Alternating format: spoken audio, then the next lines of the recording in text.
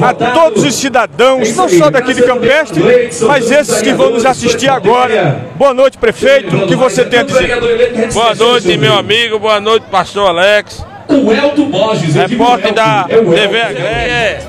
É uma satisfação, uma alegria de saber que o povo de Campestre me reconduziu para o segundo mandato, para ser prefeito de uma cidade tão pobre, tão humilde.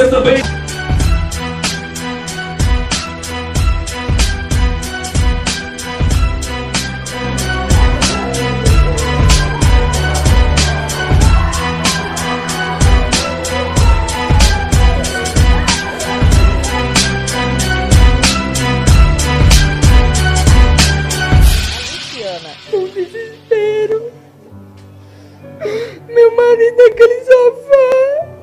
Eu não tinha nem ação, não tinha nem ação. Saí gritando, ninguém tava na rua e eu gritando, gritando. Os amigos e boa parte da população se reuniram nesta manhã para pedir justiça em nome do presidente. Que entregamos a Deus e que a justiça seja feita e que esperamos no Senhor.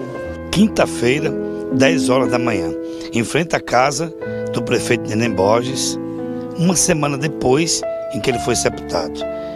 E a gente vê esse cenário aqui de amigos, familiares, aliados políticos, muitos eleitores, uma cidade inteira que ainda se comove com essa perda. Vários cartazes foram confeccionados exatamente para lembrar a imagem do prefeito, considerado pela cidade como melhor até agora, e principalmente pedir justiça pela morte dele.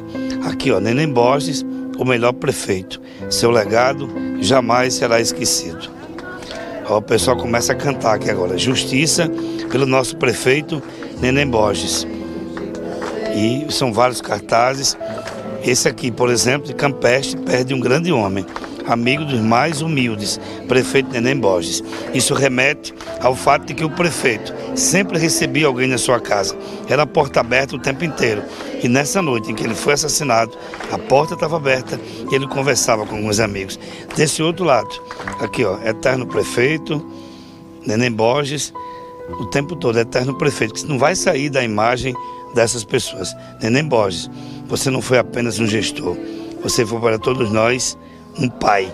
E a palavra justiça segue. E eles cantam, ó. Vou viver, aquele adeus não pude dar.